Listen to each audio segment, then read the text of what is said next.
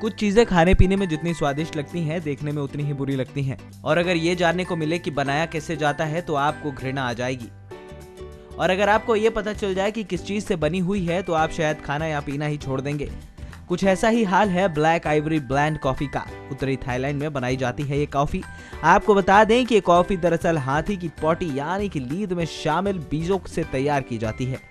Black Ivory bland coffee को आप सीधे ये समझ सकते हैं कि हाथी के गोबर से बनती है।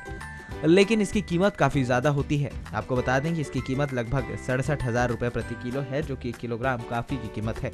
करीब 1100 डॉलर इस कॉफ़ी की कीमत है। आपको ये जानकर हैरानी होगी कि ये दुनिया की सबसे महँगी कॉफ़ी ब्लैंड्स में से एक है। दुनिया की सबसे महँगी कॉफ़ी लुवक भी एक जानवर के गोबर से ही तैयार की जाती है। इस कॉफ़ी की कीमत करीब दो लाख रुपए प्रति किलो से भी ज़्यादा होती है।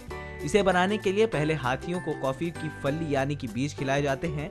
हाथी कच्ची फलियाँ खाते हैं और उसे बचाते हैं और लीद गिरा देते हैं। इस लीद यानी पॉटी से काफ़ी के बीज निकल कर बाहर आ जाते हैं। नेक्स्ट नाइन न्यूज़, भोजपुरिया की रिपोर्ट।